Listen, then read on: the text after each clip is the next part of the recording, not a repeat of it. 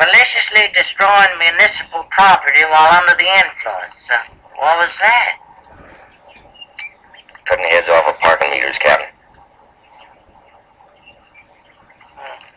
We ain't never had one of them before. Where do you think that's gonna get you?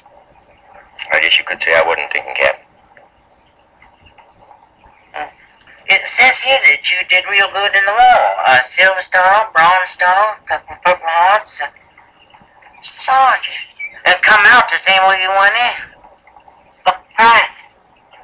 Like I was just passing time, Captain.